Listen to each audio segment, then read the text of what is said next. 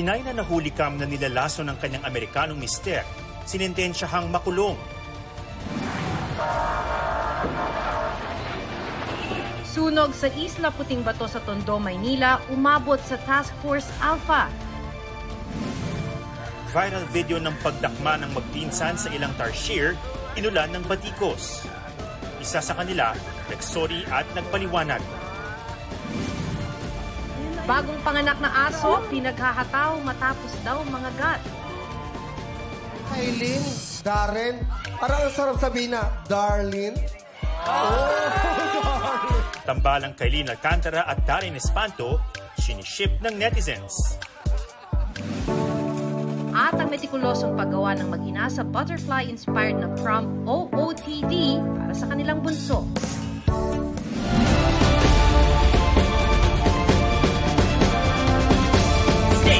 The Nation.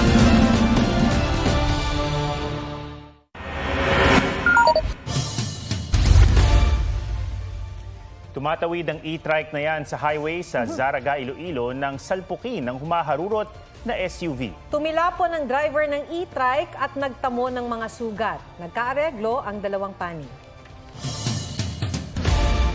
Dalawang taon na makukulong ang isang Pilipina sa Amerika matapos tangkaing lasuni ng mister niyang retired US Air Force. Nahuli kam ang insidente nang maglagay ng security camera ang lalaki dahil matagal na raw siyang kinukutuban sa kanyang misis. May report si John Consulta. May isinasalin sa mas maliit na lalagyan ang babaeng ito na nasa laundry area ng kanilang bahay sa Amerika.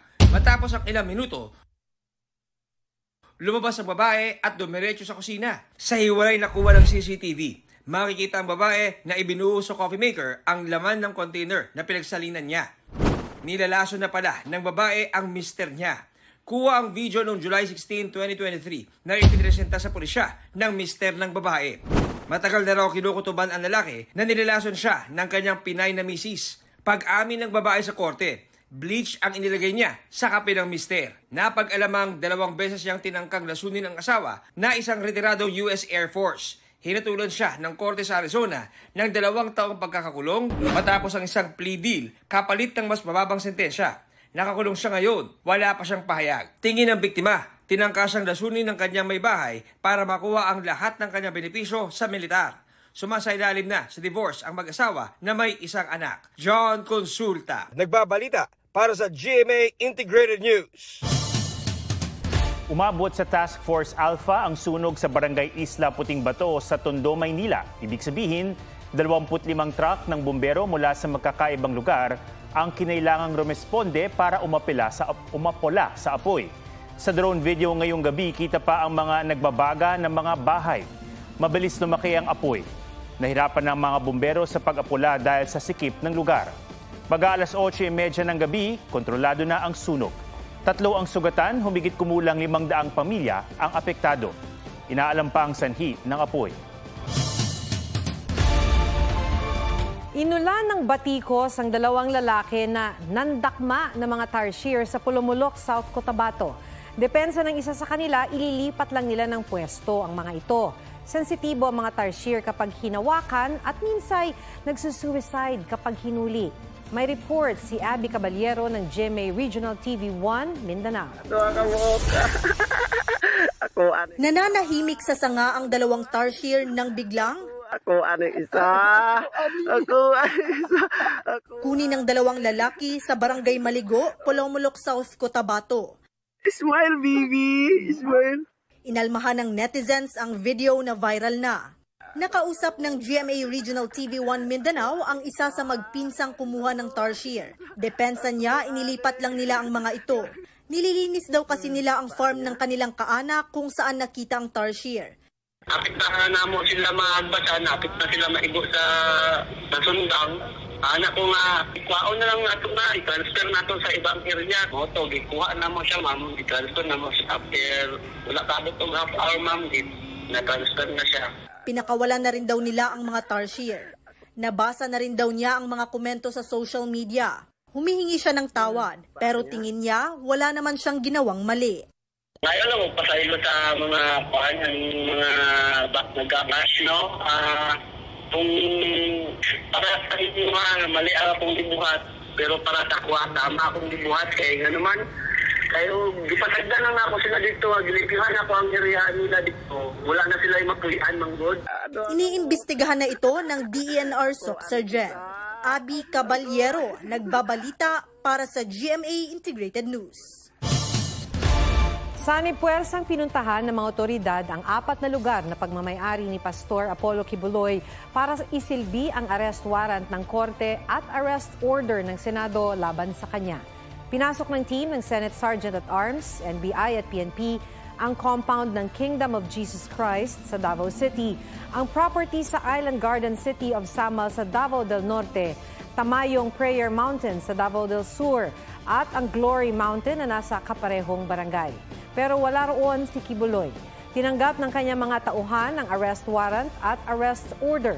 Nagbabala ang NBI sa nagkakanlong o tumutulong sa pagtatago ni Kibuloy dahil paglabag ito sa batas.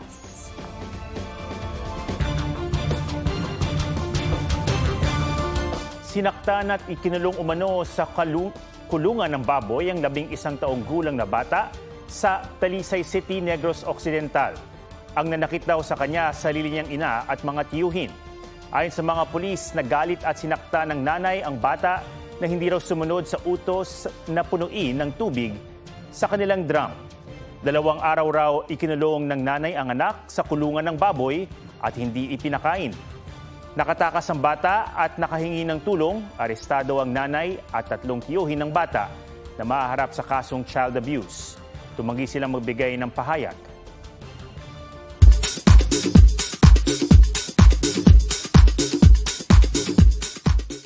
Ni Alden Richards sa real score nila ni Catherine Bernardo. What you see is what you get.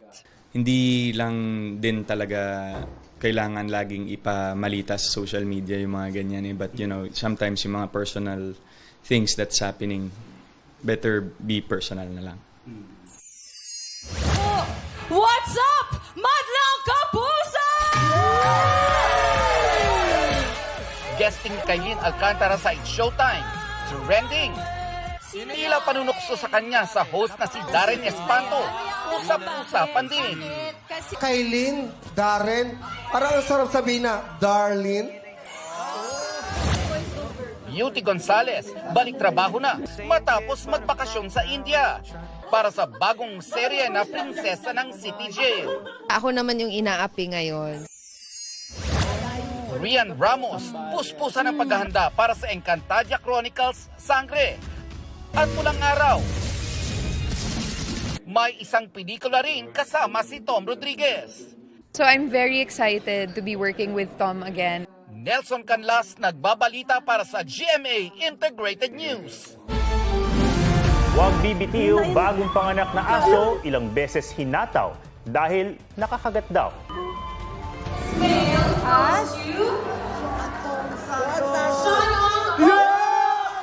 Ang tinahing prom suit ni na Kuya at Mami para kay Bunso na inspired sa red carpet look ni Taylor Swift sa pagbabalik ng State of the Nation.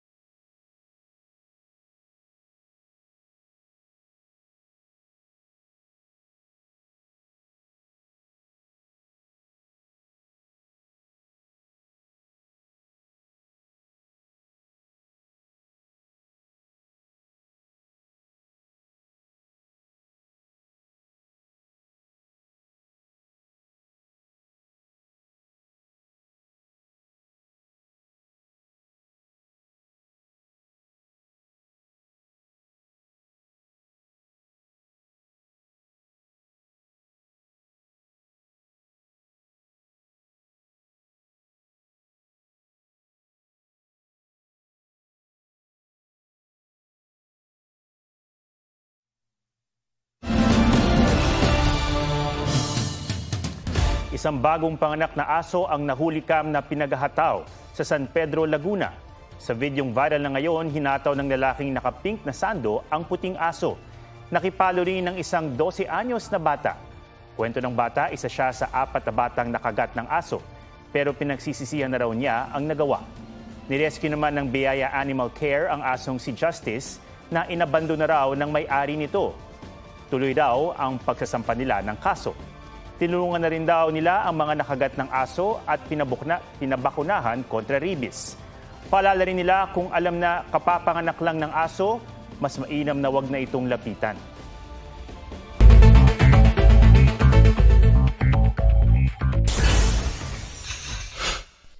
Dalawa, arestado sa Quezon City dahil sa lantarang pagbebenta online ng mga pekeng PWD IDs.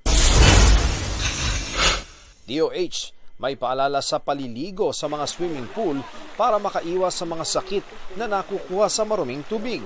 Payo ng DOH sa resort owners, gawing regular ang paglilinis ng mga swimming pool. Sa mga inflatable pools naman na nagsulputang parang mga kabute, sabi ng mga eksperto, iwasan daw ang pagsasama-sama ng magkakaibang pamilya para makaiwas sa mikrobyo. Simula April 15, pasok ng kawani ng mga lokal na pamahalaan sa Metro Manila pinaaga sa 7 a.m. to 4 p.m. mula sa dating 8 a.m. to 5 p.m. para makabawas sa traffic ayon sa Metro Manila Council. Ian Cruz nagbabalita para sa GMA Integrated News. Susunod, butterfly suit ng isang binatilyo sa prom, pinagtulungang tahiin ng kanyang kuya at nanay sa pagbabalik ng State of the Nation.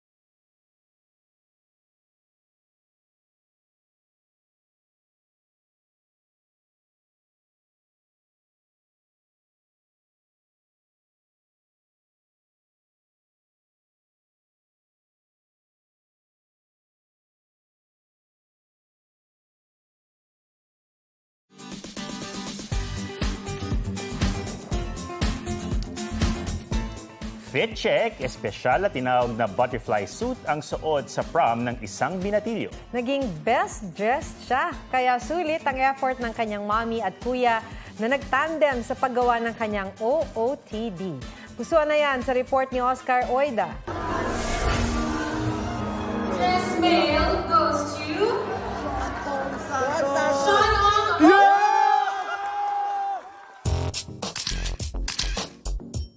na pak ang suit ni Sean na puro pakpak. Yan ang paru-paro suit for his prom, made out of love ng kanyang fam. This is how much I love my younger brother. Pinag-igihan at pinaglaanan ng oras ng kanyang ina at kuya. Mula sa pananahi, pati sa pagbuburda, hanggang sa lahat ng butterfly patch ay may kabit. Tatlong buwan nga ang inabot para matapos ang damit. Ang ideya ng kuya ng si Johan, mula sa Oscar de la Renta masterpiece na red carpet look ni Taylor Swift sa Grammy Awards noong 2021. We liked her butterfly jacket, but it was sold out. Bahagi rin daw si Sean ng creative process nito. Pero bukod sa napakagandang damit niya, dinaan sa looks ang eksena. Oscar Oida, nagbabalita para sa GMA Integrated News. Fashionable. Yan po ang State of the Nation. Ako si Atom Araulio para sa mas malaking misyon. Para sa mas malawak na paglilingkod sa bayan, ako si Maki Pulido mula sa GMA Integrated News. Ang News Authority ng Pilipino.